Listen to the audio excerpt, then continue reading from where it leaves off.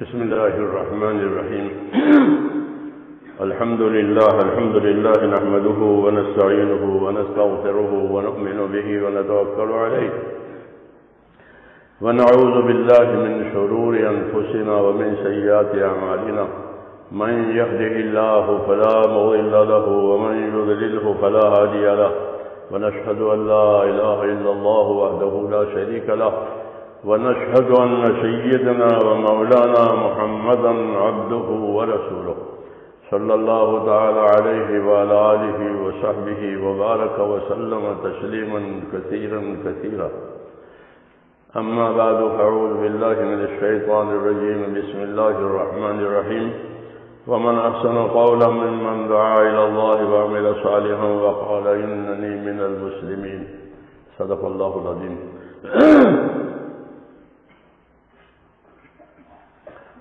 میرے بزرگوں اور پیارے بھائیوں،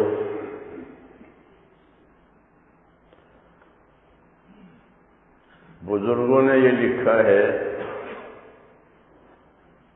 کہ من اسلح ما بینہ و بین اللہ اسلح اللہ ما بینہ و بین خلقہ۔ اس کا مطلب یہ ہے کہ جو لوگ اپنا اور خدا کا معاملہ ٹھیک کر لیں گے تو اللہ ان کا اور مخلوق والا معاملہ ٹھیک کر دے گا۔ لوگوں کے بہت سے معاملات ہیں، بہت سے مشکلات ہیں دنیا میں۔ تو اس کا راستہ بتا۔ کہ من اسلح ما بینہ و بین اللہ اسلح اللہ ما بینہ و بین خلقہ۔ کہ جو لوگ اپنا اور خدا کا معاملہ ٹھیک کر لیں گے، تو پھر ان کا اور مخلوق والا معاملہ اللہ ٹھیک کر دے گا۔ آسان بات اور مختصر بات کہ اللہ سے معاملہ صحیح کرو۔ اس لیے میرے دوستوں دین مشکل نہیں ہے، دین سب سے زیادہ آسان ہے۔ حدیثوں میں بھی ہے کہ دین و یسر۔ یہ دین کے دین آسان ہے۔ جی ہاں کہ دین آسان ہے اور ہر حال میں آسان ہے۔ کیونکہ ہمارے پاس ہر حال کا دین ہے، تو ہر حال میں دین آسان ہے۔ اس لیے کہا دین و یوسر ان کے دین آسان ہے۔ اور پھر اس کا اثر ہی بتایا کہ اگر دینداری آ گئی زندگی میں اور حال ہمارا صحیح ہو گیا اللہ کے معاملے میں، تو اللہ سارے حالات صحیح کر دیں گے۔ یہ وعدے ہیں اللہ تعالیٰ کے۔ کہ من اسلح ما بین وبین اللہ اسلح اللہ ما بین و بخلق ہی یہ بزرگوں نے فرمایا کہ جو لوگ اپنا اور خدا کا معاملہ صحیح کر لیں گے، تو اللہ ان کا اور مخلوق والا معاملہ صحیح کر دیں گے۔ جی ہاں۔ یہ ایک انعام اور اکرام کی بات ہے۔ اللہ کی طرف سے ہمارے لیے کہ اللہ سے معاملہ صحیح کرو۔ کہ اللہ سے معاملہ صحیح کرنے کا کیا مطلب ہے؟ کہ اللہ سے معاملہ صحیح کرنے کا مطلب یہ ہے کہ اللہ نے ہماری زندگی کا ایک مقصد قرار دیا ہے کہ میں نے زندگی کیوں دی ہے؟ کیونکہ جو پیدا کرے گا، وہ پیدا کرنے کا مقصد بھی بتاوے گا۔ جی ہاں۔ تو جس نے پیدا کیا ہے، اس نے زندگی کا مقصد بتایا ہاں۔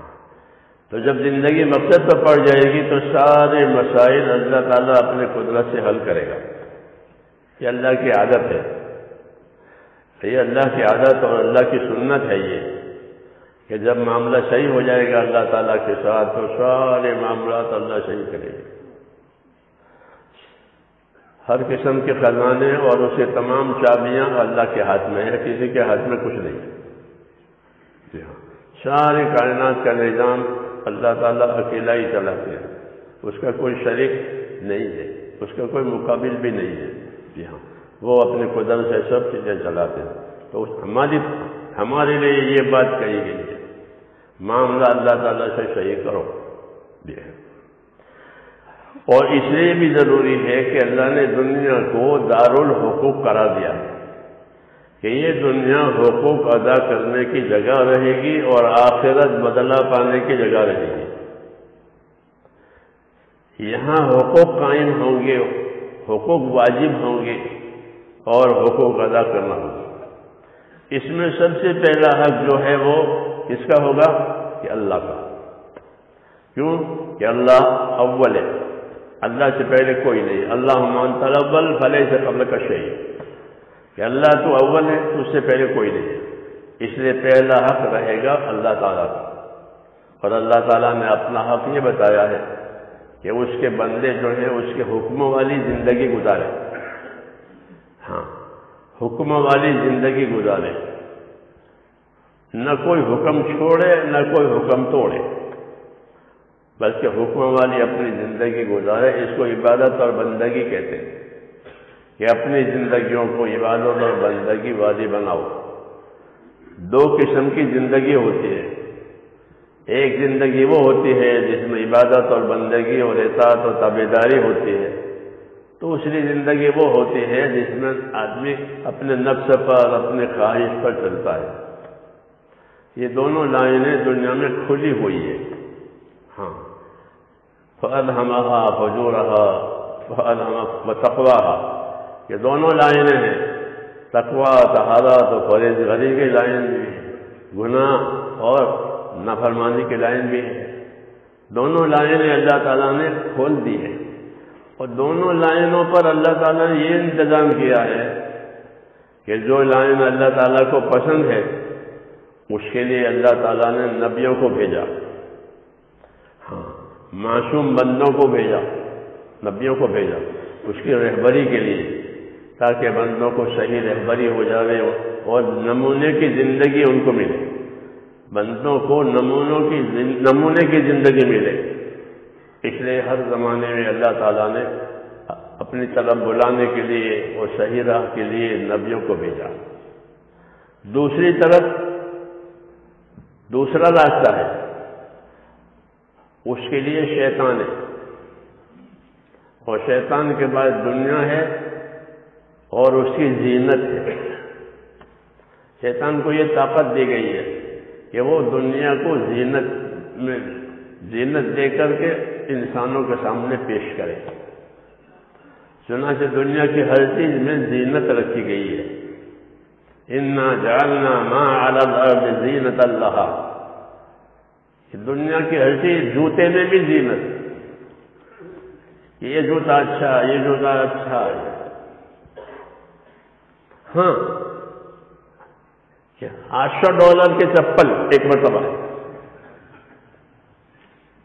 ہاں۔ یہ چپل آٹھ سو ڈالر یہ کیا؟ کہ اس کی زینت ہے۔ تو کہا کہ دنیا کی چیزوں کو اللہ نے فرمایا کہ ہم نے ان پر زینت ڈالی ہے۔ اور شیطان اس کو مزین کرتا ہے۔ ہاں اس کو یہ طاقت دی گئی ہے کہ وہ ہر چیز کو مزین کرے گا۔ حدیثوں میں ہے کہ کھلے کا ابلیس مزین بولے سے علیہ من دلالت شہی وہ بوئس تو دائن و مبلغن ولی سے من ہدایت شہی حدیث پاک میں کہ شیطان کو اللہ نے مزین بنا کر رکھے وہ بری سے بری چیز کو ایسا مزین بنا کے پیش کرے گا کہ آدمی اس کے اس کے پیچھے لٹ ہو جائے گی زینت۔ اور نبی کو بھیجا ہے دائی بنا کر اور مبلک بنا کر۔ دائی کا کیا مطلب ہوتا ہے؟ اور دعوت کا کیا مطلب ہوتا ہے؟ دائی اپنے دعوت میں کیا سمجھاتا ہے؟ دائی اپنی دعوت میں جو بات سمجھاتا ہے وہ یہ ہوتی ہے کہ تو اس کو اللہ تعالیٰ نے ایک کام کے لیے، ایک مقصد کے لیے بھیجا۔ دائی مقصد زندگی کی طرف رہبری کرے۔ تاکہ کوئی بھی ناموراد نہ ہو۔ کیونکہ ناموراد وہ ہوتا ہے جس کو مقصد حاصل نہ ہو۔ اس کو ناموراد کہتے ہیں۔ ایک آدمی تجارت کرتا ہے، اس کا مقصد یہ ہے کہ مجھ کو تجارت میں نفع بھی دے کھوٹ نہ آئے۔ یہ مقصد ہوتا ہے۔ اگر تجارت میں نفع نہیں آیا، کھوٹ آئی تو وہ ناموراد ہوا اپنی تجارت مقصد حاصل نہیں ہوا۔ یوں کہا کہ مقصد حاصل نہیں ہوا۔ تو ہر لائن کا ایک مقصد ہوتا ہے۔ جب وہ مقصد ہوتا ہے تو اس کو اس لائن میں کامیاب کہا جاتا ہے۔ اور اس لائن میں اس کا مقصد نہ حاصل ہوا تو وہ ناموراد کہا جاتا ہے۔ خاصر نقصان اٹھایا۔ حدیثوں میں ہے کہ ہر آدمی کی زندگی ایسی ہے جیسے ایک تاجر کی زندگی ہوتی ہے۔ تاجر اپنی تجارت سے، اپنے مال متا سے فائدہ اٹھانا چاہتا ہے گاہکوں کے ذریعے سے کہ وہ گاہکوں کو بیچتا ہے۔ تاکہ اس سے نفع حاصل کرے۔ تو اپنے مال سے، اپنا مال اپنے خریداروں کو دے گا تاکہ وہ اس سے نفع حاصل کرے۔ تو فرمایا، ایسے ہی ہر آدمی اپنی صلاحیت کا تاجر ہے۔ اللہ نے بندوں میں صلاحیتیں رکھی ہیں بہت۔ جی ہاں۔ بہت صلاحیت رکھی ہیں۔ حدیث شریف میں ہے، کہ الناس و معادن کا معادن الذهب والفضہ کہ لوگ اپنی جگہ اتنے قیمتی ہیں، جیسے سونے اور چاندی کی کانیں ہوتی ہیں۔ زمین میں کہیں سونا نکل آیا تو اس کی کرنسی بھاری ہو جاتی ہے۔ یہاں سے سونا نکلا ہے تو ایسے ہی ہر آدمی فرمایا کہ اپنی جگہ ایک کان ہے سونے کی۔ اس میں اتنی صلاحیتیں ہیں، اتنی خیر ہے۔ ہاں۔ لیکن وہ صلاحیتیں جس طرح وہ سونا اور چاندی مٹی کے نیچے دبا ہوا ہوتا ہے اور اس میں کوئی فائدہ نہیں ہوتا، لوگ پیشاب کرتے ہیں اوپر۔ جی ہاں کیوں کہ وہ تو مٹی کے نیچے ہے۔ ایسے ہی انسانوں کی صلاحیتیں بہت ہوتی ہے بڑے بڑے کام وہ کر سکتے ہیں، لیکن وہ صلاحیتیں دو چیزوں کے نیچے دبی ہوئی ہوتی ہیں۔ ایک اپنے ماحول کے نیچے دبی ہوئی ہوتی ہے کہ جیسا ماحول ہے ویسی زندگی گزرے گی۔ یہ تو اجتماعی بات ہے کہ اجتماعی طور پر جیسا ماحول ہوگا ویسے لوگ زندگیاں گزاریں گے۔ انفرادی طور پر ہر آدمی کی زندگی اس کے خواہشات کے نتیجے ہوتی ہے کہ اس کے سارے ارمان، اس کے سارے جذبات اپنے خواہش کے نیچے ہوتے ہیں۔ یہ دو چیزیں ہوتی ہیں۔ ایک تو خواہشوں کے نیچے ہونا، ایک اپنے ماحول کے نیچے ہونا۔ اس کی وجہ سے جو اصلی صلاحیت ہے، وہ ظاہر نہیں ہوتی۔ کہ اللہ تعالیٰ نے اس کو بڑی بڑی صلاحیتوں کے ساتھ پیدا کیا ہے۔ یہ اعلیٰ درجے کا ولی بن سکتا ہے، متقی بن سکتا ہے، امانت دار بن سکتا ہے۔ بڑی بڑی صلاحیتیں۔ لیکن وہ صلاحیتیں خواہشوں کے نیچے یا ماحول کے نیچے۔ دبنے کی وجہ سے ظاہر نہیں ہوتی۔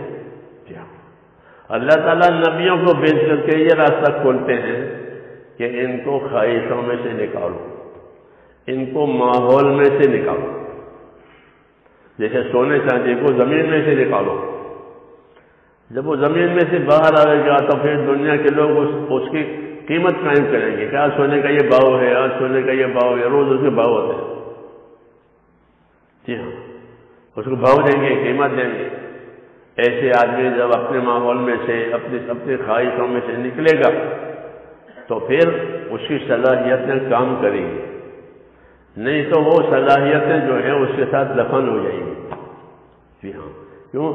کہ وہ خواہشات کے نیچے، اپنے ماحول کے نیچے رہ گیا ہو۔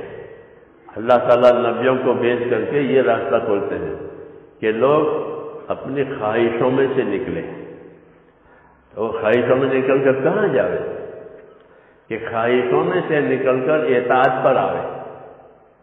ہاں ایک راستہ اللہ کے اعتعاد کا ہوتا ہے، ایک راستہ اپنے خواہش کا ہوتا ہے۔ یہ دو راستے ہیں۔ تو حدینہ ہوں لجدین کہ دو راستے اللہ نے رکھے ہیں۔ ایک راستہ اپنی منچاہی کا ہوتا ہے کہ جو جیل میں آگے وہ کرے۔ اور ایک راستہ اللہ اللہ کی رضا والا ہوتا ہے کہ جس میں اللہ تعالیٰ کو راضی کیا جاتا ہے۔ آدمی کے سامنے اللہ تعالیٰ یہ دونوں راستے کھولتے ہیں۔ ہاں۔ اور اس کی سمجھ میں بھی آتی ہے بات۔ ایسا نہیں ہے کہ مبہم بات ہے، اس کو سمجھ میں نہیں آتی۔ بلکہ یہ دونوں راستے انسانوں کو سمجھ میں آتے ہیں کہ یہ صحیح راستہ ہے، یہ غلط ہے۔ چور چوری بھی کرتا ہے، مگر یہ جانتا ہے کہ میں غلط کرتا ہوں۔ ہاں۔ اس کا ضمیر اندر سے اس کو کہتا ہے کہ یہ بات غلط ہے، اس لیے وہ لوگوں سے اپنی چوری چھپاتا ہے۔ کیوں؟ کہ اچھی چیز نہیں ہے۔ تو چھپاتا ہے۔ ایک مثال ہے۔ تو اندر ایک چیز اللہ تعالیٰ نے رکھی ہے۔ صحیح اور غلط میں امتیاز کرنے کے لیے۔ وہ فطرت کہلاتی ہے۔ کہ اندر رکھا ہے ایک مادہ کہ یہ صحیح ہے، یہ غلط ہے، یہ میں صحیح کر رہا ہوں، یہ میں غلط کر رہا ہوں۔ یہ اندر اللہ تعالیٰ نے رکھا ہے۔ پھر اس کے اوپر سے اللہ تعالیٰ نے روشنی دی ہے۔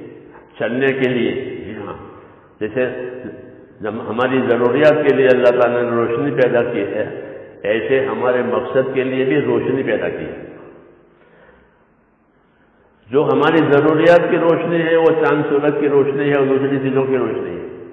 وہ ضروریات زندگی کے لیے، راحت زندگی کے لیے ہوتی ہے۔ اور ایک روشنی ہوتی ہے مقصد زندگی کے لیے۔ مقصد زندگی کے لیے جو روشنی ہوتی ہے، اس کو ہدایت کی روشنی کہتے ہیں۔ کہ ہدایت کی روشنی، کہ ہدایت مل جائے، ہدایت مل جائے، کہ ہدایت کا کیا مطلب ہے؟ کہ ہدایت کا مطلب یہ ہے کہ اندر سے دل کا یقین صحیح ہو جائے۔ یہ پہلی بات، یقین یقین کرنے کے لیے اللہ کی ذات ہے۔ یقین کرنے کے لیے اللہ کی صفات ہے۔ کہ اندر سے یقین آئے اللہ کے پر۔ کہ جو کچھ ہوگا وہ اللہ سے ہوگا۔ جو کرے گا وہ اللہ کرے گا۔ نفع ہو، نقصان ہو، جو بھی ہو تمام مسائل کا تعلق صرف اللہ اور صرف صرف اللہ کی ذات سے اور کسی سے نہیں۔ کہ اندر کا یقین یہ ملے کہ میرے تمام مسائل دین، دنیا غلط کے، اس کا تعلق صرف اللہ سے ہے۔ اللہ چاہے گا تو نفع ہوگا، اللہ چاہے گا تو نقصان ہوگا۔ ایک اندر کا یقین بننا۔ اس کو ایمان کہتے ہیں۔ یہ جتنا پرورش اندر پاتا ہے، اتنا آدمی کو اندر سکون ملتا ہے۔ ہاں جتنا یقین، اتنا سکون، جتنا یقین، اتنا سکون۔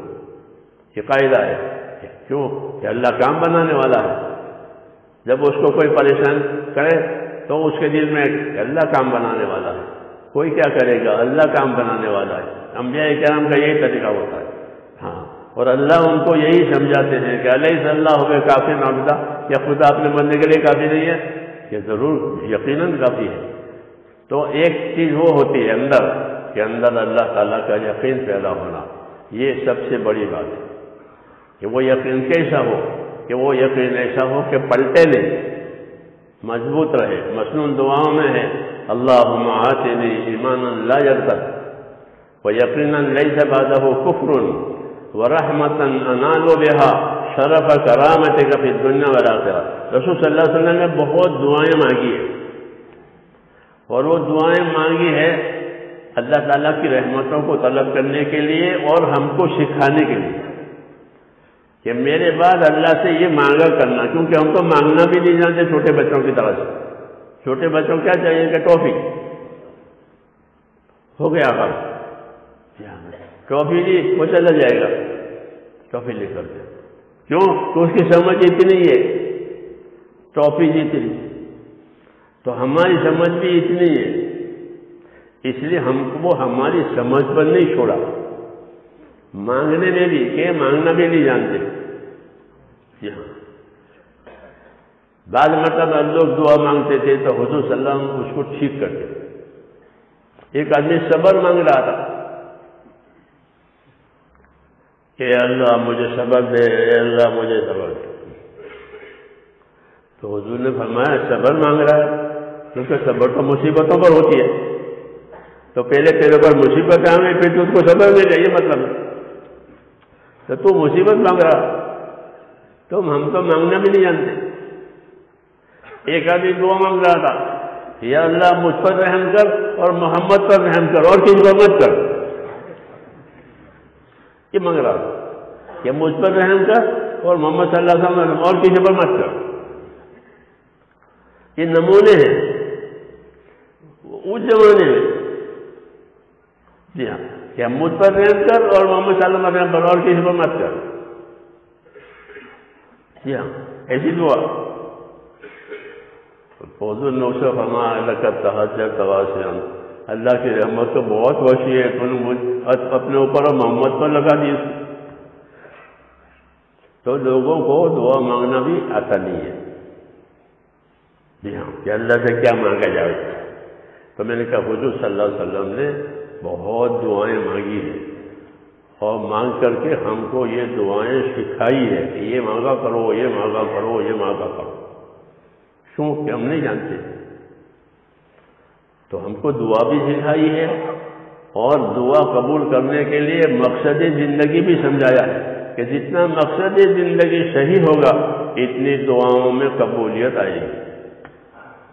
ہاں ویسے تو اللہ ہر وقت دعا قبول کرتے ہیں۔ ہر مسلمان کی دعا ہر وقت قبول ہوتی ہے۔ کوئی دعا ردی میں نہیں ڈالی جاتی۔ ہاں، بلکہ دعا محفوظ کی جاتی ہے، پھر مقبول بھی کی جاتی ہے۔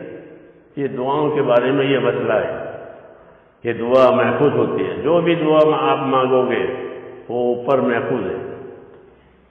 جی ہاں۔ اور محفوظ اس لیے رکھی ہے کہ یہ دعا اس کی قبولیت کب دینی ہے؟ اب دینی ہے یا بعد میں دینی ہے؟ ہاں۔ کبھی ایسا ہوتا ہے کہ فوراً دے دیے تو فوراً دے دیتے جو مانگا ہے، وہ مراد پوری کر اور کبھی اس کو روک لیا۔ کہ ابھی دینے کا وقت نہیں ہے۔ ابھی دینے کا وقت نہیں ہے، اس کے لیے مناسب نہیں ہے۔ جب اس کا وقت آئے گا، تب اس کو دیں گے۔ تو دوسرے وقت میں دیتے ہیں۔ جی ہاں۔ بعض لوگوں کو آخرت میں دیتے ہیں۔ کہ دنیا میں دینے کی یہ چیز نہیں تھی، آخرت میں دیتے تو وہ خوش ہو جاتا ہے، کیونکہ آخرت میں جو ملے گی، وہ ہمیشہ کے لیے ملے گی۔ دنیا میں جو ملے گی، وہ تو تھوڑی دیر کے لیے ملے گی۔ تو یہ اللہ تعالیٰ کے ترتیب ہے۔ تو میں نے کہا حضور صلی اللہ علیہ وسلم نے ہم کو یہ بھی سکھایا ہے کہ اللہ سے کیا مانگو گے۔ ہاں تاکہ ہم اللہ سے مانگنا سیکھیں۔ اور یہ بھی سیکھا کہ مانگنا کس وقت میں قبول ہوتا ہے اور مانگنے کے مراد کس وقت دی جاتی ہے۔ ہاں ادعو نے استجب لکھوں ایک دن کہا کہ مجھ سے دعا مانگا کرو، میں دعائیں تمہاری قبول کیا کروں گا۔ ہاں۔ اور یہ کہا فلی سجی بولی ولیو مینو بھی کہ بندے میری بات مانا کرے بندے میری بات مانا کرے اور میری باتوں پر یقین کیا کرے۔ یہ دو باتیں کہ میری بات مانا کرے، میری باتوں پر یقین کیا کرے۔ کہ بات ماننے کا مطلب یہ ہے کہ ان کی عملی زندگی صحیح ہو جائے۔ اور اندر کا یقین بھی صحیح ہو جائے، پھر ان کی مرادیں پوری کی جائیں۔ تو یہ اللہ تعالیٰ کی طرف سے ہے کہ ہم کو اللہ تعالیٰ نے مقصد زندگی سمجھایا ہے۔ ہاں۔ اور مقصد زندگی کے لیے پھر اللہ تعالیٰ نے ہم کو ایمان اور علم یہ دو چیزیں دی ہیں۔ مقصد زندگی کیا ہے؟ کہ دنیا میں اللہ کے حکم ہم پورے کریں گے۔ چھوڑیں گے نہیں، توڑیں گے نہیں۔ اللہ کا حکم چھوڑنے کی بھی اجازت نہیں ہے اور توڑنے کی بھی اجازت نہیں ہے۔ ہاں بلکہ بلکہ اللہ کے حکموں کے ساتھ اپنے آپ کو پابند کرنا۔ دو چیزیں اللہ کی طرف سے بندوں پر آیا کرتی ہے ایک اس کے حکم آتے ہیں۔ رات، دن۔ رات میں رات کے حکم آتے ہیں، دن میں دن کے حکم آتے ہیں، مالداری میں مالداری کے حکم آتے ہیں، غریبی میں غریبی کے حکم آتے ہیں۔ جو حال ہوتا ہے، اس حال کے حساب سے ہر وقت اللہ تعالیٰ کے حکام ہماری طرف آتے رہتے ہیں۔ اس لیے ہر حال کا حکم پورا ہونا ضروری ہے۔ یہ تقاضا ہے کہ ہر حال میں حکم آئیں گے، سفر میں سفر کے حکم حضرت میں حضرت کے حکم، بیماری میں بیماری کو، جیسے بیماری کا کھانا، تندرستی کا کھانا، سفر کا کھانا، گھر کا کھانا، ضروریات زندگی اس طرح بدلتی رہتی ہے۔ ایسے ہی اللہ کے حکام بھی حالات کے حساب سے بدلتے رہتے ہیں۔ تقاضا دین کا یہ ہوتا ہے کہ اللہ تعالیٰ کے حکموں کو ہر حال میں پورا کیا جائے۔ اس کو ٹالا بھی نہ جانے اور اس کو چھوڑا بھی نہ جانے۔ ٹالنے کا مطلب یہ ہے کہ اس کو پیچھے جا ابھی نہیں، بعد میں کریں گے۔ کہ اس کی اجازت نہیں ہے۔ کہ یہ راستہ شیطان سکھاتا ہے۔ اس کو تصویف کہتے ہیں عربی میں۔ کہ تصویف تصویر کا مطلب ہے کہ ابھی نہیں، بعد میں۔ ابھی نہیں، حج کے بعد۔ ابھی نہیں، رمضان کے بعد، عید کے بعد، وغیرہ وغیرہ۔ کہ کوئی حکم آیا، کوئی تقاضا آیا، تو اس کو اندر سے کہ ہاں یہ تو بہت اچھی بات ہے، کرنی چاہیے، لیکن ابھی نہیں۔ تو کیا کہ بعد میں؟ بعد میں کریں گے۔ اس کو تصویر کہتے ہیں، یہ شیطان سکھاتا ہے۔ اور کبھی یہ سکھاتا ہے تشویل یعنی بہانے بنانا۔ الشیطان و سب لهم۔ تشویل باتیں بنانا، بہانے بنانا۔ یوسف علیہ السلام کے بھائیوں نے جب بھی کوئی مسئلہ آیا، یوسف علیہ السلام کو غائب کر دیا، گیا، بھیڑیا کر گیا۔ تو یعقوب علیہ السلام نے کیا کہا؟ قال، بل سولت لکم انفس ہر وقت یہی کہا کہ تم لوگوں نے بات بنائی ہے، تم لوگوں نے بات بنائی ہے۔ یوسف کو بھیڑیا نہیں کہا گیا ہے؟ تم لوگوں نے بات بنائی ہے۔ تصویر تو آدمی بات بناتا ہے، شیطان بات بناتا ہے اور بات بنانا سکھاتا ہے یا بہانے بنانا سکھاتا ہے تاکہ اللہ کا حکم پورا ہو۔ اور اصل مقصد کیا ہے کہ اللہ تعالیٰ کا حکم پورا ہو جائے۔ جو حکم دیا ہے اس پر عمل ہو جائے۔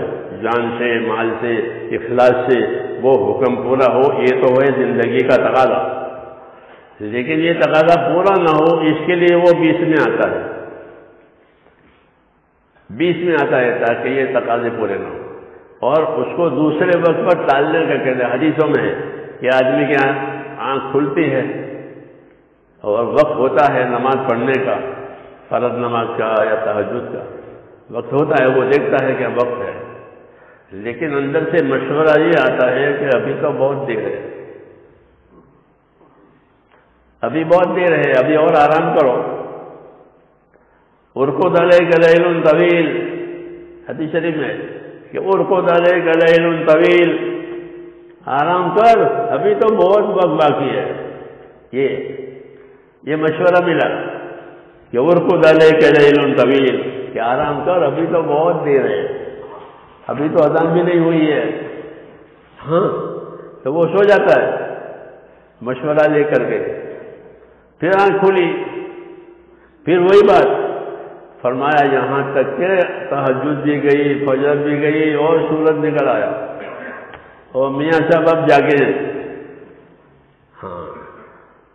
یہ بات یہ اب جاگے ہیں اور یہ اس حال میں جاگے ہیں کہ اس کے کان میں شیطان نے پیشاب کیا ہے۔ یہ بات اس کے کان میں شیطان نے پیشاب کیا ہے۔ کہ شیطان کے پیشاب کا کیا اثر ہوگا؟ کہ دن بھر یہ دین کے کاموں میں سست رہے گا۔ ہاں اسبہ کسلان کبھی النفس۔ کہ کان میں جو پیشاب ہوا ہے، وہ دن بھر یہ سست رہے گا دین کے کاموں میں اس کا جی نہیں لگے گا۔ یہ نحوست تو یہ ساری باتیں ہم کو سمجھائیے۔ تاکہ زندگی مقصد سے ہٹے نہیں، زندگی مقصد سے کٹے نہیں۔ ہاں ایک قسم کی رکاوٹ ہے نفس کی طرف سے آتی ہے، شیطان کی طرف سے آتی ہے، بہانے بناتے ہیں۔ حدیث شریف میں ہے کہ دین کے کاموں کے سامنے بہانے مت بناؤ۔ کہ میں تو بیمار ہوں، میرے گھر والے بیمار ہیں، وہ حالت ابھی حالانکہ کچھ نہیں ہے۔ کچھ نہیں ہے، سب ٹھیک ہے۔ لیکن بہانے بنانا۔ تو ڈرایا ہے کہ بہانے بناؤ گے تو وہ بہانے سچ ہو جائیں گے۔ ہاں بہانے بنائے ہیں تو وہ بہانے وہ سچے ہو جائیں گے۔ اس لیے فرمایا، لا تمہارا دو وہ فتم دو جان بوجھ کے بیمار نہ بنو، ورنہ سچ مجھ بیمار ہو جاؤ گے۔ ہاں، یہ دین کا تقاضا آیا کام کا تقاضا میری طبیعت اچھی نہیں ہے۔ بہانہ بنا تو آگاہ کیا ہے کہ کوئی بہانہ نہ بناوے۔ اگر وہ بہانہ بنایا ہے تو وہ بہانہ تو اس کے سامنے، وہ بہانہ صحیح ہے۔ سچ مچ ایسا ہی ہو جائے گا۔ لا تمہارا دو ختم ردو جان بوجھ کے بیمار نہ بنو، ورنہ بیمار ہو جاؤ۔ اور یہ اس وجہ سے کہ زندگی کا مقصد ہمارا جو ہے وہ اللہ کی اطاعت ہے۔ ہماری دو ذمہ داریاں ہیں۔ ایک ذمہ داری ہماری یہ ہے کہ ہم اللہ تعالیٰ کے حکموں پر اپنے آپ کو قائم رکھیں۔ یہ ہر فرض سے متعلق ہے۔ اس کو استقامت کہتے ہیں۔ کہ ہر آدمی، ہر مسلمان اپنے دین پر استقامت کے ساتھ رہے۔ ہاں۔ استقامت کے ساتھ رہنے کا کیا مطلب ہے کہ جس وقت میں جو اللہ کا حکم ہو، وہ پورا کرے۔ اگر کوئی بچنے کا حکم ہے تو اپنے آپ کو بچا لے۔ کرنے کا حکم ہے تو اپنے آپ کو کرنے کے لیے تیار کرے۔ اس کو استقامت کہتے ہیں۔ تو ہماری زندگی کا ایک مقصد، ایک کام یہ ہے کہ اپنی زندگی کو استقامت پر لاؤ۔ فستقم کما امرتا ومن تابا ماٹ اے ومن آمن ماٹ نبی سے نبی سے یہ بات فرمائی جا رہی ہے کہ اے نبی، جو کام آپ کو دیا گیا ہے، آپ اس پر پابند رہے اور جو آپ پر ایمان لائے ہیں، وہ بھی پابند رہے تو ایک حکم ہمارے ساتھ یہ ہے۔ کہ ہم اپنے آپ کو اپنے دین کے کاموں کا پابند بنائیں۔ ہاں۔ ترتیب کے ساتھ، اخلاص کے ساتھ اس کو کرتے چلے جائیں۔ تو ایک حکم پابندی کا ہے۔ وہ ہر آدمی کی ذاتی زندگی سے تعلق رکھتا ہے۔ کہ وہ تندرست ہے، تو تندرست کے کام پورے کرے کہ اپنی نمازوں کو، دوسرے عبادتوں کو اچھی طرح ادا کرے، کیوں؟ کہ اللہ نے کو صحت دیے اس کو تندرستی دیے مال دیا ہے، مال دیا ہے، تو مال کے لائن کے جو احکام ہیں وہ پورے کرے۔ فرصت ہے تو اپنے فرصت کو برباد نہ کرے۔ حدیث شریف میں ہے کہ نئے متانے مقبول الفیمہ کثیر میں الناس، کہ دو نعمتیں بڑی ہیں، لیکن کھوٹ کھانے والے ان نعمتوں میں زیادہ ہے نفع اٹھانے والے تھوڑے ان نعمتوں میں کھوٹ کھانے والی زیادہ۔ کہ وہ دو نعمتیں کیا دو ہیں؟ کہ ایک فرصت، کہ آدمی فری ہے، فارغ ہے، کچھ نہیں، سب کچھ اللہ نے دے رکھا ہے۔ کوئی کوئی چیز باقی نہیں ہے۔ فارغ ہے۔ ایک، دوسری نعمت کہ تندرستی ہے۔ بیماری نہیں ہے ازر نہیں ہے۔ یہ دو بڑی نعمت ہے ایک فرصت، ایک صحت۔ بدن کی تندرستی۔ یہ دو نعمتیں بڑی ہیں اور ہر آدمی کی نعمت کے لیے طلبگار ہوتا ہے کہ میں فارغ رہوں، مجھے تندرستی ملے۔ لیکن اللہ دیتے ہیں تو لوگ ان نعمتوں سے فائدہ نہیں اٹھاتے، کھوٹ کھاتے۔ کہ وہ نعمتیں غلط جگہ استعمال ہو جاتی ہے فرصت غفلت میں استعمال ہو جاتی ہے اور تندرستی عیش میں استعمال ہوتی ہے۔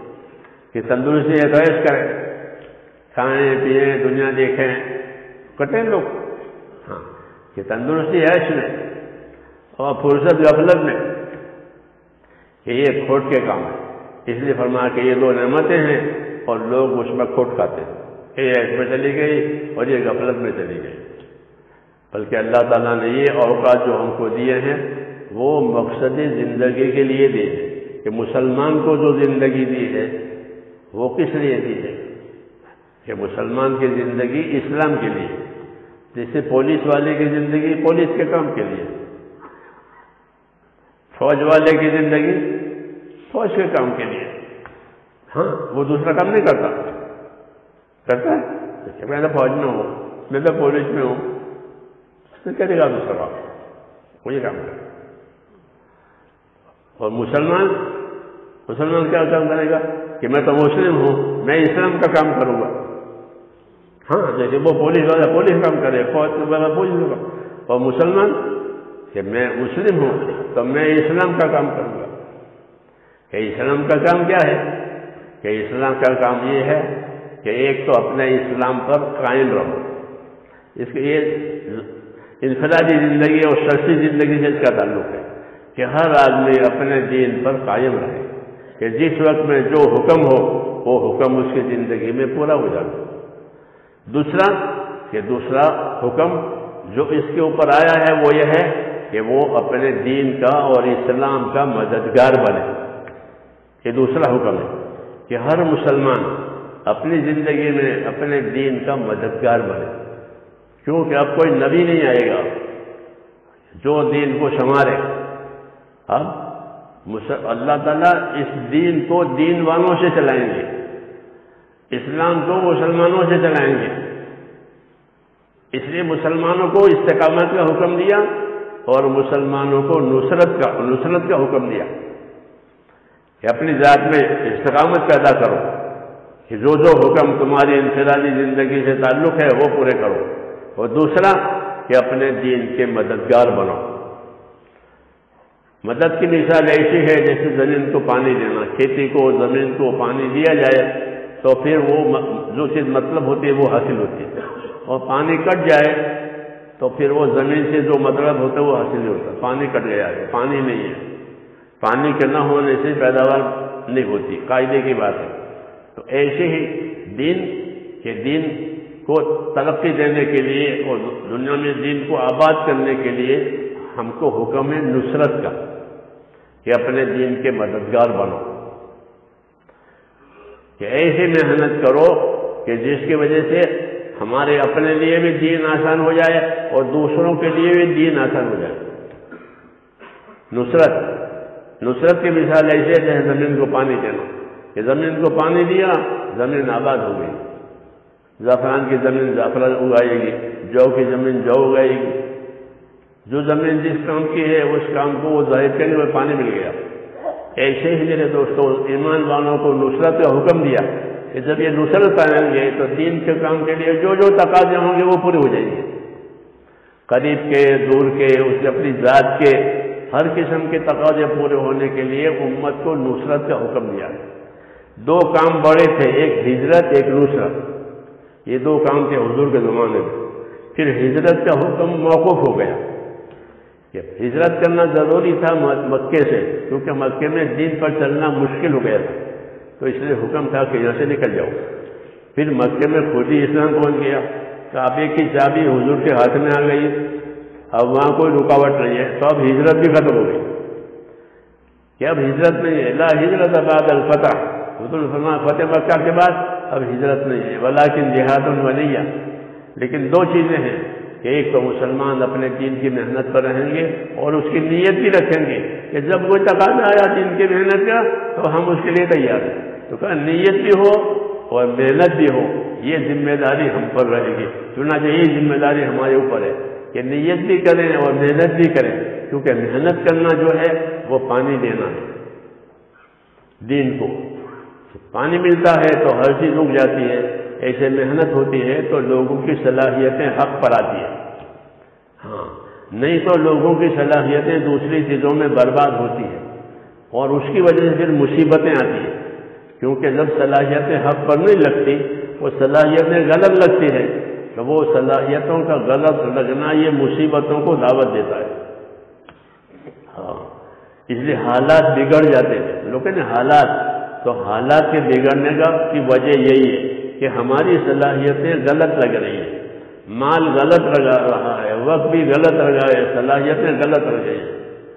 مسلمان تو اسلام کے لیے ہے۔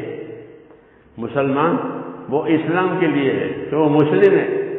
تو مسلم کس کام کے لیے ہوتا ہے؟ کہ اسلام کے لیے۔ کہ فوجی کس کام کے لیے ہوتا ہے؟ کہ فوج کے کام کے لیے۔ پولیس کس کام کے لیے؟ کہ پولیس کام کے لیے۔ اور مسلمان مسلمان اسلام کے لیے۔ اور اسلام میں دو کام ہیں، ایک اللہ کی عبادت اور ایک ایک اس کے دین کی نصرت۔ ایک اللہ کی عبادت نماز، روزہ، زکوٰۃ، حج، ذکر چلے عبادت کہلاتی ہے۔ تو ایک تو یہ ہمارے ذمے ہے کہ اپنی اپنی جگہ، اپنی عبادتوں کا اہتمام کرنے والے بنے۔ ہاں اپنی عبادتوں کا اہتمام، کیونکہ عبادت کے لیے تو پیدا ہی کیا ہے۔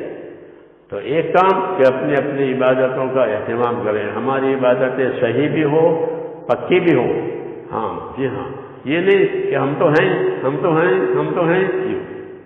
یہ کناٹ کہتے ہیں، اس کو ہم تو جماعت میں۔ ہم، نہیں، ایسا نہیں ہے۔ بلکہ اپنی ذمہ داری کو سمجھنا ہے کہ ہماری کیا کیا ذمہ داری ہے۔ حضرت فرماتے تھے، صحابہ کے اوپر ذمہ داری کا اتنا احساس تھا کہ ہر صحابی دنیا سے روتا ہوا گیا۔ یہ فرماتے تھے کہ وہ دنیا سے روتے ہوئے گئے۔ کیوں؟ گنا کیا تھا۔ گنا کیا تھا۔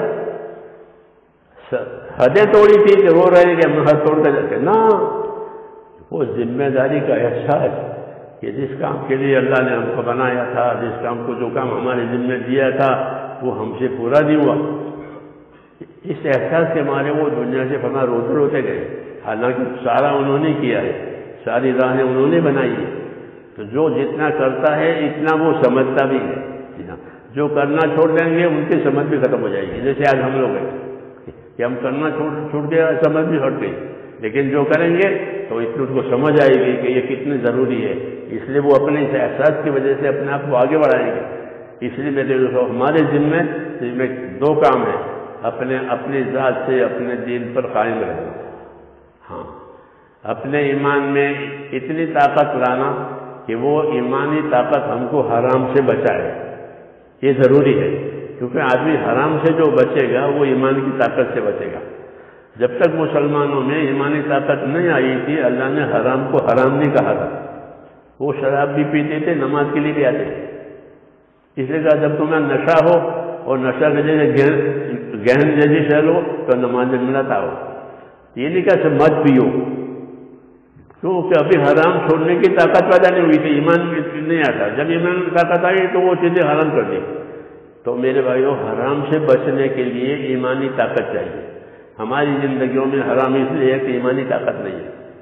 جیسے اوپر چڑھنے کے لیے طاقت ہونی چاہیے۔ ایسے۔ اس لیے ہماری ذمہ ہے کہ اپنے ایمان میں طاقت پیدا کرے، تاکہ وہ ایمان ہم کو حرام سے بچاوے۔ اور فرائض ادا کراوے اور دوسروں کے حقوق کے بارے میں فکر مند کرے۔ ایسا ایمان بنانا ضروری ہے۔ ایسا ایمان بنانا ضروری ہے جو فرائض ادا کراوے، حرام سے بچاوے اور دوسروں کے حقوق ادا کراوے۔ یہ ایمان کی یہ اتنی قوت مطلوب ہے کہ ایمان میں اتنی قوت آوے تاکہ وہ کسی کے حق میں گرفتار نہ ہو اور فرائض ادا کر کے جائیں، حرام سے بچ کے جاؤ تو یہ زندگی ایمان والی ہوئی۔ اس لیے کہا، مولانا انڈیا صاحب فرماتے تھے کہ ہماری یہ تحریک جو ہے وہ تو ایمان کی تحریک ہے، ورنہ تو ہم سب مسلمان ہیں، ہمارے عقیدے صحیح ہیں۔ پھر کہ نہیں، ان کے ایمانوں میں ابھی ضعف ہے۔ جب ایمان میں ترقی آئے گی تو وہ حرام چھوٹ جائے گا۔ کتنے قصے لوگوں کے ہیں کہ میں تو یہ کام کرتا تھا، یہ کرتا چھوڑ دیا۔ ہاں چھوٹی کاروبار کرتے تھے، وہ چھوڑ دیے کیوں؟ یہ جماعتوں میں وقت لگتے بات بات سمجھ میں آئی۔ ٹھیک ہے یہ نمازیں چھوٹ گئی تھی کہ ساری نمازوں کی قضا پڑی ہمارے ایک آدمی نے بیس سال کی نمازیں قضا پڑی اس کو تو میں جانتا ہوں، کوئی قصہ نہیں ہے۔ کہ بیس برس کی نمازیں فوت ہوئی تھی پھر تبلیغ میں لگے تو اب ایمان میں قوت آئی کہ میں بیس سال نماز نہیں پڑھی۔ یہ پڑھی ہے تو ٹوٹ پھوٹ پڑھی ہے۔ تو وہ روزانہ مغرب سے عشاء تک رہتا تھا مسجد میں اور حصہ تک اور پوری ہو گئی۔ کسی کو نہیں بتایا۔ مرد لگ اپنے بھائی کو بتایا کہ ایک مسئلہ تھا۔ کہ بیس سال کی نمازیں باقی تھی وہ کہ پوری ہو گئی۔ ہاں، یہ معجزہ ہے۔ ولدی نجا حدوفی نا نام بولنا کہ جو ہمارے راستے کی محنتیں کریں گے، ہم ان کو اپنے راستوں کی رہبری کریں گے۔ یعنی جنت والے عملوں پر ڈالیں گے۔ یہ مطلب ہوتا ہے۔ تو بیس سال کے مجھے پتہ پڑے ہاں اٹھارہ سال کی زکاتیں دی، ایسے لوگ ہیں۔ تبلیغ میں نکل کر بجائے صدقات جو زکات کہ ہم نے تو دی نہیں ہے۔ تو اس نے جا کے اٹھارہ برس کی زکات دی۔ جی ہاں۔ یہ کیا بات ہوئی؟ کہ اندر طاقت آئی۔ اس لیے مولانا انجا صاحب اس کام کو ایمان کی تحریک کہتے تھے یہ دعوت کیا ہے؟ کہ ایمان کی تحریک جیسے پانی کو جاری کر دیا۔ ایک پانی جمع ہوا ہے اور ایک پانی کو جاری کر دیا۔ اب اس کا نفع دور دور تک جائے گا۔ ایسے ایمان میں حرکت آئی کہ ایمان کا نفع اب دور دور تک جائے گا۔ بہت سے گناہ زندگی میں سے نکل جائیں گے، بہت سے فرائض زندگی میں ادا ہو جائیں گے اور جن جن کے حقوق ہیں ان کو بولا بولا کر دیں گے۔ ایسے کسی طرح کہ جن کے حقوق دبا رکھے تھے، اب تبلیغ میں تو اب اندر ایمان بنا، تو وہ چھپتی ہے چیز۔ جب ایمان اندر بنتا ہے تو گناہ چھپتا ہے اندر۔ تو تو ان کو بولا بولا کر جن کا حق تھا وہ دے دیا۔ تو اب بات صاف کر دیں تو یہ کیا؟ کہ یہ کام کا اثر ہے کہ جب یہ کام ہوگا تو اندر ایمانی طاقتیں پیدا ہوگی، تو ایمانی کام آسان ہو جائیں گے۔ اس لیے میرے دوستو ہمارے ایمان کو طاقت دینے کی ضرورت ہے۔ ایمان ہمارا صحیح ہے۔ یہ نہیں کہ ایمان میں کوئی غلطی، ایمان ہمارا صحیح ہے، لیکن اس میں طاقت دینے کی ضرورت ہے، تاکہ زندگی کے جو فرائض ہیں، زندگی جو عجبات ہیں، زندگی کی جو عظیمتیں ہیں، کہ وہ حاصل ہو جائے۔ اس لیے اس محنت کی ایک غرض یہ ہے کہ ایمان والوں کے ایمان میں حرکت پیدا ہو۔ اور ماحول عبادتوں کا بنے، ماحول حقوق اور ہمدردی کا بنے۔ یہ کہ یہ کام اس طریقے سے چلایا گیا ہے، بھائی بنا کر چلایا گیا کہ ایک دوسرے کو بھائی بنا کر کام کرو۔ جیسے نفوز وسلم تو آلو کو بھائی بنا کر کام کرتے تھے، یہ کام اسی طرح چلایا۔ کہ ایک مسلمان دوسرے مسلمان کا بھائی ہے، کہ بھائی بنا کر کام کرو۔ تو اس سے ہمدردی پیدا ہوتی ہے اور دین ہمدردی کرنے کا نام ہے۔ تو اس کام میں ہمدردی بھی ہے، اس کام میں اصلی ایمانی زندگی بھی ہے۔ ہاں اس لیے یہ کام تعلق رکھتا ہے کس سے؟ کہ محنت سے۔ کہ جتنی محنت جتنی خیر، جتنی محنت جتنی خیر۔ کہ جتنی قربانی، اتنی ترقی۔ جتنی قربانی، اتنی ترقی۔ یہ اس کام میں ہے۔ کہ جتنی محنت آئے گی، اتنا شر نکلے گا زندگی میں سے اور خیر آئے گی۔ اور پھر جتنی قربانی ہوگی محنتوں میں، کہ اس قربانی کی وجہ سے اس میں ترقی ہوگی۔ پھر اللہ تعالیٰ جو باتیں زندگیوں میں سے پھوٹ ہوئی ہے وہ زندگیوں میں قائم ہو جائے گی۔ اور پھر آخرت میں، کہ آخرت میں تو اس کے بدلے اور درجات دیے جائیں گے۔ یہ اللہ تعالیٰ کے وعدے ہیں۔ اس لیے کہتے ہیں کہ کام کو اللہ تعالیٰ کے وعدوں پر یقین کر کے کیا جائے۔ کہ اللہ نے وعدہ کیا ہے ولدی نجا حدینا اللہ سولنا کہ جو اس کام میں محنت کریں گے، اللہ اپنے راستوں کی ہدایت دیں گے۔ حدیثوں میں کہ اس کام کو ضرور کرو کہ یہ کام جنت کا دروازہ ہے۔ یہ کام کہ یہ جنت کا دروازہ ہے۔ اور اس کام کی وجہ سے اللہ تمہاری پریشانیوں کو اٹھا لے گا۔ اسے کہا، اس کام کو ضرور کرو کہ یہ کام جنت کا دروازہ ہے اور اس کام کی وجہ سے اللہ تمہاری پریشانیوں کو اٹھا لے گا۔ آج مخلوق پریشان ہے، انسانیت پریشان ہے۔ ہم کو پریشانی کا علاج بتایا ہے کہ تمہاری پریشانیوں کو اٹھا لیں گے اور جنت کے دروازے تک پہنچ جائیں گے۔ جب دروازے تک پہنچ جائیں گے تو اللہ کریم دروازے سے واپس نہیں کرے گا۔ جی ہاں کریم آدمی ہوتا ہے، آؤ کیوں آئے ہو؟ یہ پوچھیں۔ یہ نہیں کہ یہاں کیوں آئے؟ کہ نہ، ایسا نہیں کریں گے۔ اللہ بہت قریب ہے۔ ہاں اللہ تو ایک نیکی کو بڑا کر کے کتنی بنا دیتے ہیں۔ اس لیے کہا کہ اللہ سے امیدوار رہو اور اللہ کا کام کرو۔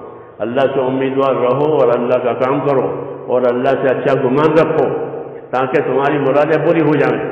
اس لیے میرے دوستوں اللہ سے امیدیں بھی اس وقت ہوگی جب کام کریں گے۔ اور گمان بھی اچھا اس وقت ہوگا جب کام کریں گے۔ ہاں کام کر کے آدمی امیدوار بنتا ہے۔ اس لیے میرے دوستوں یہ کام کرنا ہے، پھر اللہ تعالیٰ ہر خیر کے دروازے کھولے گا۔ اس کے پیچھے۔ وہ تو صلی اللہ علیہ وسلم دنیا اور آخرت کی خیر لے کر گے تو اس کے لینے کا یہ راستہ ہے۔ اب اس کے لیے ہمتیں کریں اور ہمت کر کے اپنے آپ کو تیار کریں۔ سننے سے سننا ہوتا ہے، بولنے سے بولنا ہوتا ہے اور کرنا سے کام ہو جاتا ہے۔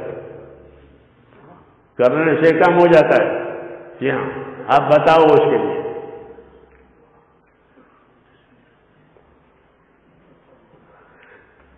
تقاضے آتے ہیں دین کے لیے۔ تقاضے پورے ہو جاتے ہیں تو دین ترقی کرتا ہے۔ اور دین ترقی کرے گا تو دنیا آخرت کی خیر حاصل ہوگی۔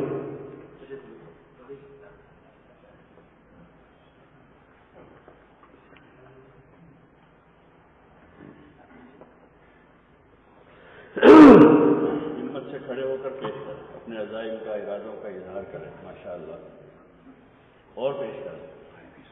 ماشاء اللہ تفصیل سے پوری بات سنی ہے، بڑی توجہ سے سنی ہے۔ اللہ حضرات کو جزائے خیر عطا فرما رکھے اب ارادوں کا اظہار کریں۔ کیا نام ہے؟ عبداللہ ماشاء اللہ اللہ مبارک فرمائے قبول فرمائے اور پیش کریں۔ ماشاء اللہ شمسی صاحب تیار ہے اللہ مبارک کرے قبول فرمائے۔ چار مہینے ماشاء اللہ کون سی مسجد سے؟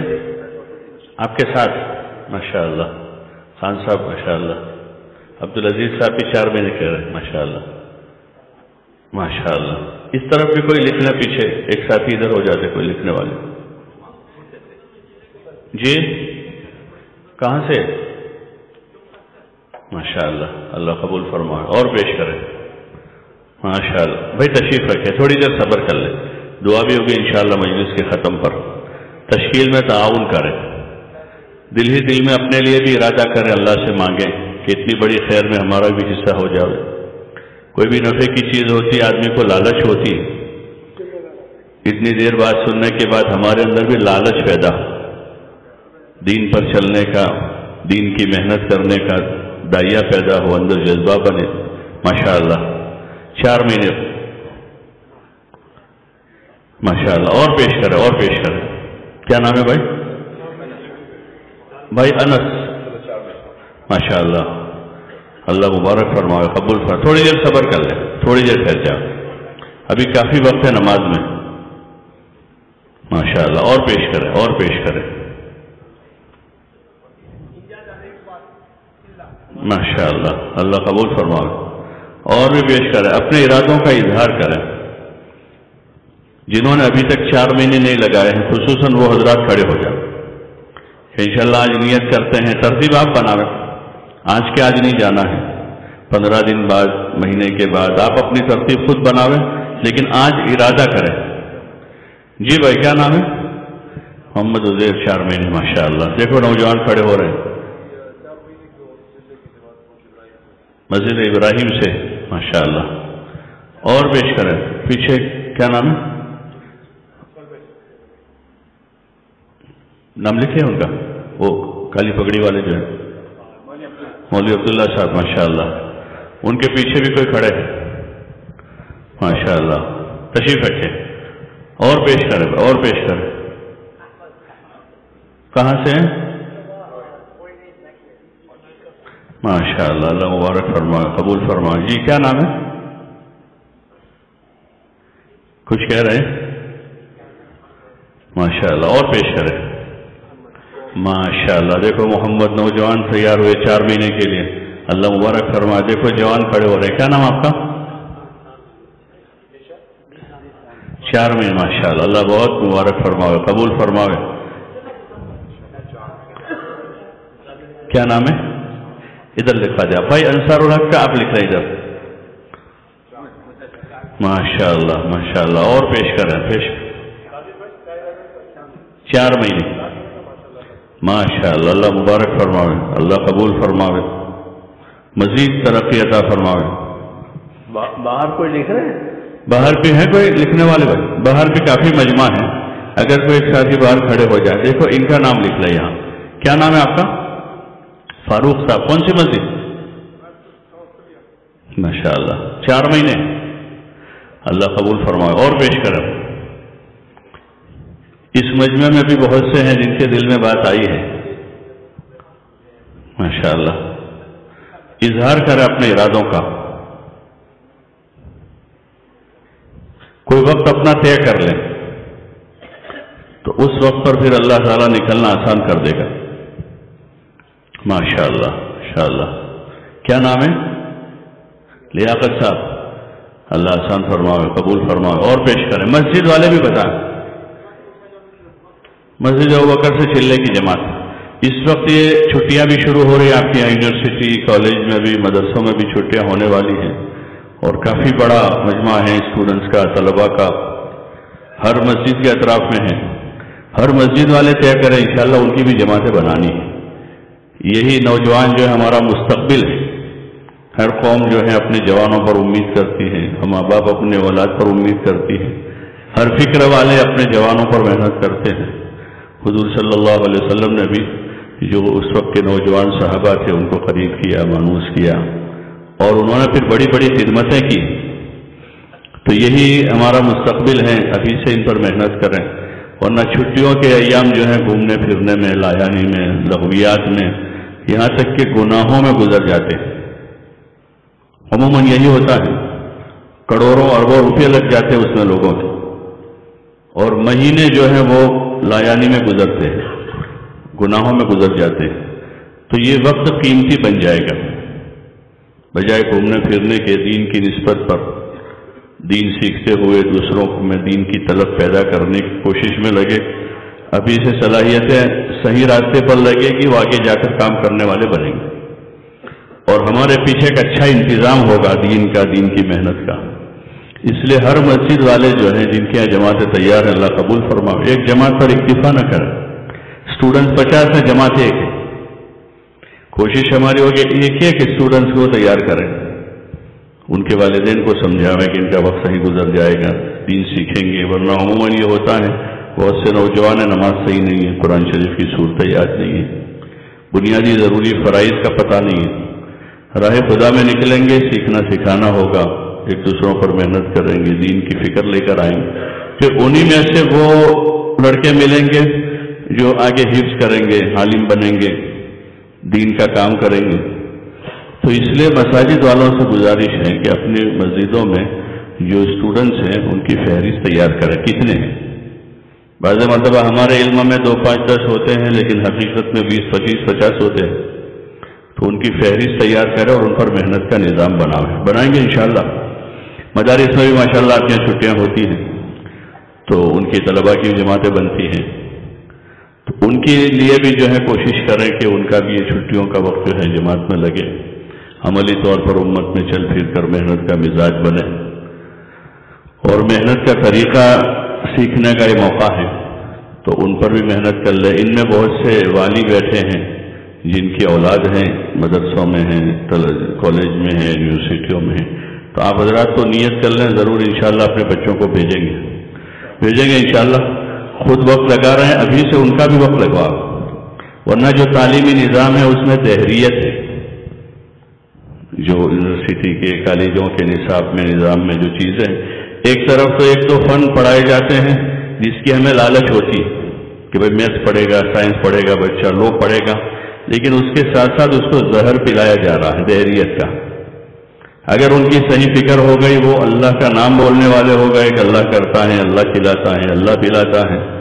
کامیابی حضور صلی اللہ علیہ وسلم کے طریقے میں تو اس زہر سے بچ جائیں گے کالج میں رہتے وہ یہ یقین کریں گے کہ اللہ کرتا ہے۔ ورنہ ذہن جو ہے کس وقت خراب ہوتا ہے، پتہ نہیں چلتا۔ ماں باپ خوش فہمی میں ہوتے ہیں، لیکن وہ بچہ جو ہے کسی اور روح پر جاتا ہے۔ اور ان کے دین ایمان کی حفاظت ہمارے ذمے ہے۔ بنیادی فرائض میں سے۔ اس کا یہ آسان راستہ ہے کہ ان کو دین کی دعوت سے ہم جوڑ دیں۔ مسجد کے ماحول سے جوڑ دیں، مسجد کی جماعت سے جوڑ دیں۔ تو وہ ایمان اعمال کو بولنے والے بن جائیں گے۔ اور اس سے دین کی طلب بھی پیدا ہوتی بہت سارے اسکول، کالج کے نوجوان پارٹ ٹائم ایک گھنٹہ، دو گھنٹہ پڑھتے حص کرتے ہیں، دین کا علم حاصل کرتے ہیں، محنت میں لگتے ہیں۔ تو یہ راستہ ہے، ابھی چھٹیوں میں اگر کوشش کر کے ان کا وقت لگوا دیا۔ تو ان کا رخ دین کی طرف، دین کی دعوت کی طرف مڑے گا۔ کریں گے انشاءاللہ فکر۔ اس میں سب اور نیت کرتے ہیں انشاءاللہ اپنے بچوں کو جو پڑھ رہے ہیں ان کو بھیجیں گے جماعت؟ نیت کرتے ہیں انشاءاللہ؟ سبھی طے کریں۔ کسی کا پوتا ہوگا، کسی کا نواسا ہوگا بتیجا ہے بھنجا ہے زیادہ یہ مستحق ہیں کہ ہم ان کے اوپر محنت کریں۔ اور یہ آسان سا راستہ ہے۔ بہت آسانی سے اس عمر میں تیار بھی ہو جاتے ہیں۔ اور ماشاءاللہ آپ کے اس ملک میں اچھا کام ہے یونیورسٹی کالج کے عنوان سے۔ باہر کے جو لڑکے یہاں آئے پہلے پڑھنے کے لیے، تو یہاں سے وہ دعوت لے کر گئے اور اپنے ملکوں میں کام کر رہے ہیں۔ بہت سے وہ ہیں جو پچیس تیس سال پہلے یہاں سے ابھی اپنے ملکوں میں ذمہ دار اس کو ہمیں اور مزید آگے بڑھانا۔ ہے اللہ پاک نے موقع دیا ہے۔ دوسری کوشش یہ کرنی ہے کہ اسٹوڈنٹس کی اور اس طرح جوانوں کی جو جماعتیں بنتی ہیں تو ہر جماعت میں ہمارے دو تین پرانے ساتھی ہوں، تاکہ ان کی تربیت ہو، نکلنے کا مقصد حاصل ہو۔ یہ ہمارا نکلنا جو ہے سیر و سیاحت کے لیے نہیں، دین سیکھنے سکھانے کے لیے اور دین کی محنت کے لیے، اوروں کو تیار کرنے کے لیے۔ پرانے ساتھی ہوں گے تو تربیت ہوگی۔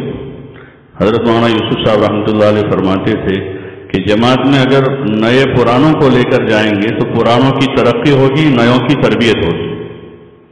سب نئے نئے ہیں تو ان کی ترقی تربیت بھی نہیں ہوگی۔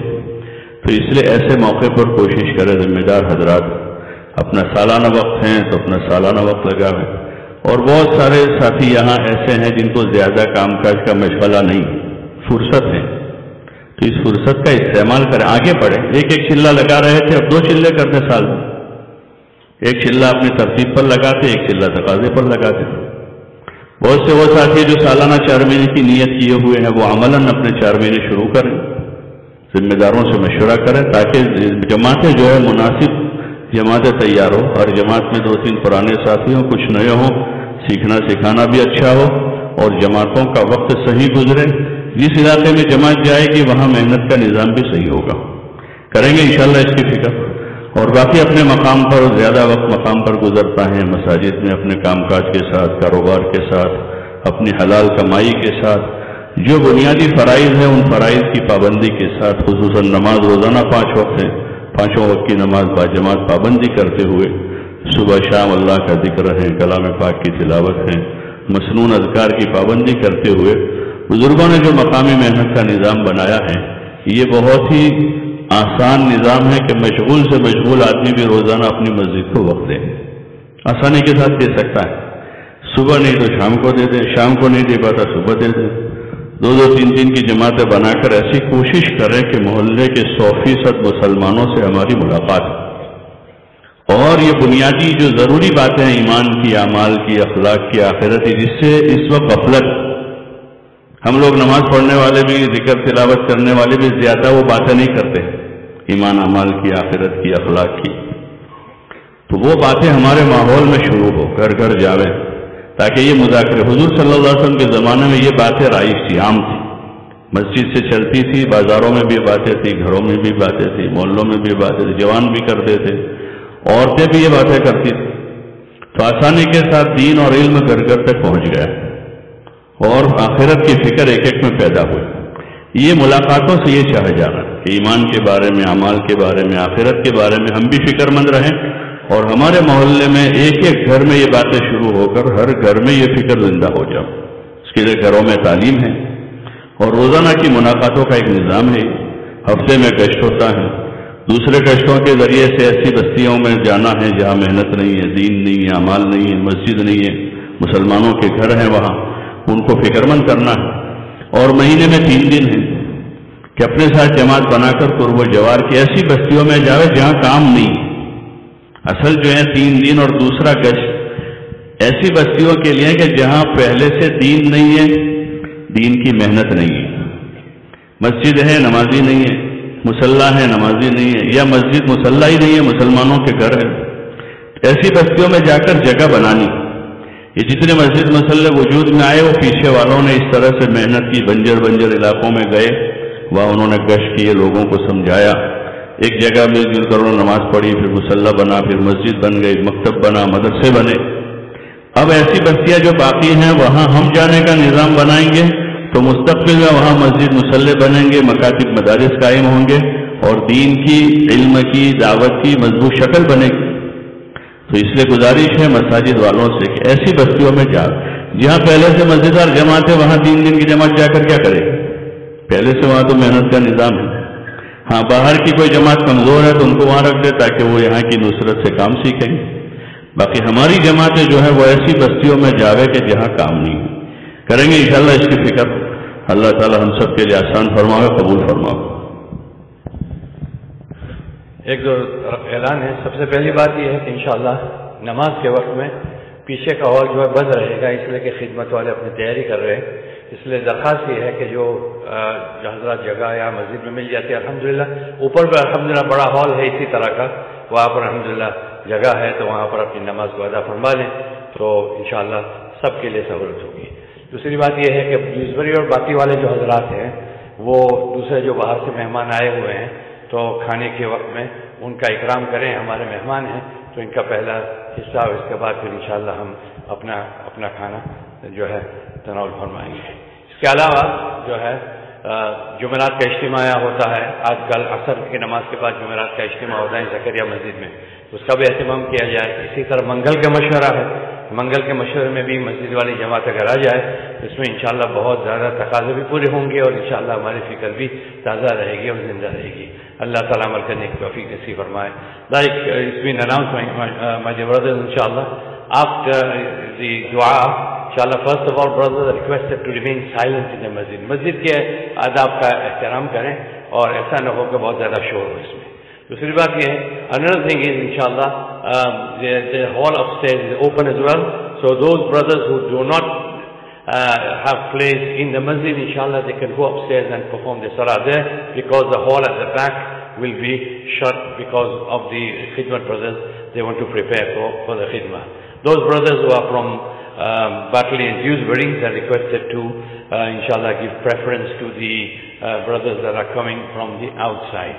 May Allah subhanahu wa ta'ala give us tawfiq to make amal. Inshallah, every Thursday and inshallah every Tuesday there's Mangal Ka Mashwara and every Thursday there's Shab Juma. Brothers are requested to come and attend here as well. At the moment it's uh, taking place at uh, uh, quarter past eight um, in inshallah in Zakaria Masjid here. May Allah subhanahu wa ta'ala give us tawfiq to make amal.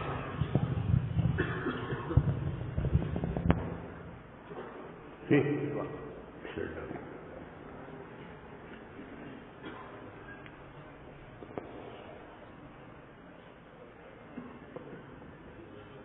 دعا بھی ہمارے اس کام کا ایک حصہ ہے۔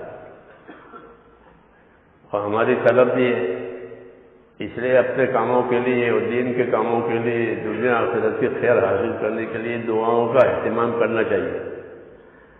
دعا مومن کا ہتھیار ہے۔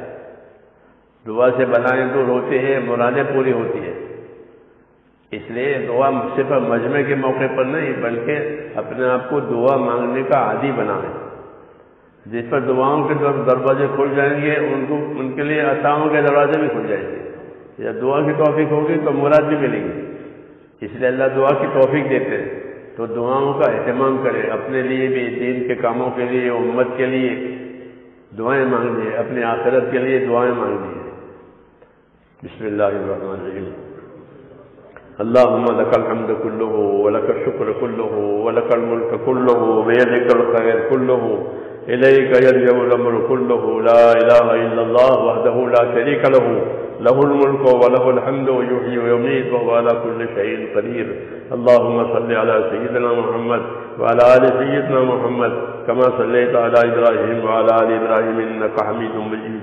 اللهم بارك على سيدنا محمد وعلى آل سيدنا محمد كما باركت على إبراهيم وعلى آل إبراهيم إنك حميد مجيد.